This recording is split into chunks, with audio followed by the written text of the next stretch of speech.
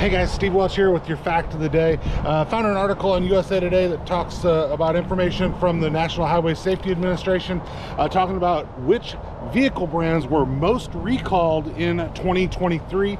Um, and number one will probably surprise you. So um, it's a, uh, it just kind of goes over with the most issues uh, or and it's top 10 so there's obviously there were more recalls in there but top 10 is just kind of an interesting list. So um, number 10 was daimler trucks north america 261959 vehicles recalled right?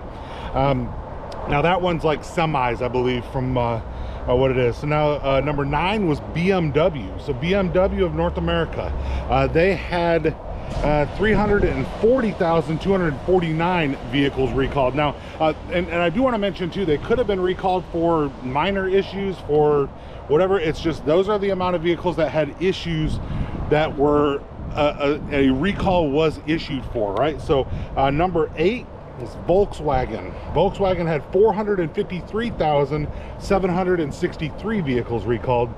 Um, Number seven would be Mercedes-Benz, 478,173 vehicles recalled. Now we're going to get into the millions, all right? And so it's jumping from just shy of 500,000 vehicles to actually well over a million and, and coming up on 2 million. So who has that? Well, that's Nissan. So Nissan's got 1.8 million. So uh, 1,804,443 vehicles that were recalled in 2023 uh, so next we've got General Motors right? So General Motors right there in the middle. Um, they have done 2 million so we're over 2 million now 2 million 21,033 vehicles recalled in 2003 um 2003 2023 all right? So um now, number four, number four is Chrysler, right? Chrysler's got 2,732,398 vehicles that were recalled in 2023. Now, top three, number three is Kia. So Kia, and we've crossed 3 million now, has 3.1. So 3,110,447 vehicles that were recalled in 2023 number two number two is ford. Ford has recalled 6,152,614 vehicles. Now i do want to caveat that with that ford makes a ton of vehicles. So the fact they're double kia okay they make a ton of vehicles so you do want to know that but also gm makes a ton of vehicles. Toyota makes a bunch of vehicles. There's a lot of people that make a bunch of vehicles um, but i will caveat that that uh, ford does make a bunch of cars. So having more recalls on more cars as a percentage it, it probably could be something that's a little more reasonable. But here's the one that you were uh, probably not expecting for your most recalled vehicle in 2023 vehicle brand was Honda. So Honda recalled 6,334,825 vehicles in 2023. So um, like Toyota's not on the list, Lexus is not on the list for top 10, of course. Um, everybody, and, and, I want to caveat this too by saying that every manufacturer issues recalls.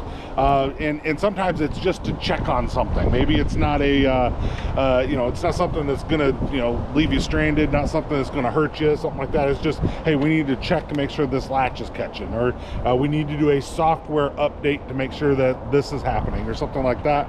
A lot of recalls are just for something that's very simple, like those things but they have been recalled and like i said this this list was uh, for, from the national highway safety administration and those were all um, things that were recalled. So now the other part i'm to just kind of switch over to my other page here is what were they recalled for? Now this just gives the top 10 reasons that vehicles were recalled. So um, 10 was uh, back over prevention, so basically to keep you from backing over something. Uh, brakes and hydraulic, suspension, uh, exterior lighting, airbags, it seems to be on the list all the time, uh, steering, powertrain, structure, equipment, and then number one, electrical system. So those are the reasons, according to the National Highway Safety Administration and this USA Today article on why the vehicles were recalled. So uh, what do you guys think? Were you guys surprised that Honda was the most recalled vehicle? I kind of was really, and I heard it was Ford, but uh, looking at this list from Highway Safety Administration, it was actually it was Honda that was number one uh, for the most recalled vehicle. Not not something you really want to be number one on, but that that's where it's at. So, uh, Steve Welch here with your facts of the day. You guys have a great day. We'll talk to you soon. Bye.